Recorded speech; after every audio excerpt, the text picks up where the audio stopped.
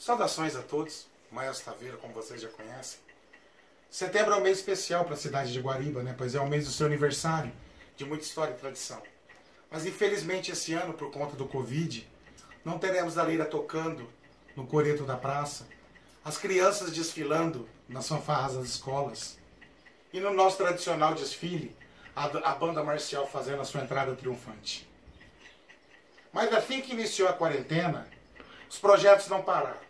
E através dos grupos de WhatsApp, por aulas online, através de videoconferência, não silenciamos a música.